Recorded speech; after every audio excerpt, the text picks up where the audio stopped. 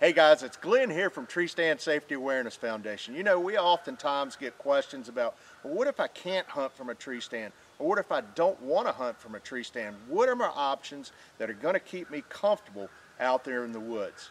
I'm going to share with you four options that are going to meet the bill for that today. The first option is the Lounger Tree Seat from River's Edge Tree Stands. And as you can see, this is a full-size seat that has a padded backrest a padded seat as well as padded armrest. So this is a full-size seat that's going to be able to give you all-day comfort there in the woods. The second option is the stump from Summit Tree Stands.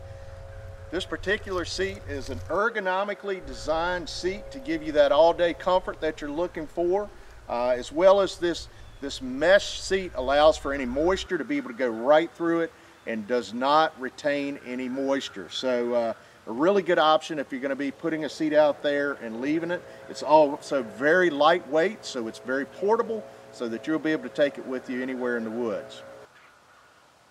The third option is the Ultra Tree Seat from Muddy Outdoors. Uh, this particular model also has a very ergonomically designed full-size seat on it, uh, which folds up and is also lightweight to carry so you can take it in and out of the woods with you. Uh, the mesh design seat also allows for uh, any water that may accumulate there to be able to easily drain through so that, so that it dries very quickly.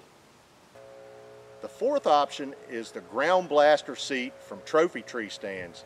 Now the Ground Blaster sets a little bit lower to the ground and actually has a kickstand on the front of it or a fold out stand on the front of it that comes in contact with the ground so it gives you that extra support. So not only do you have the support of the tree, but you also have the support of the ground there.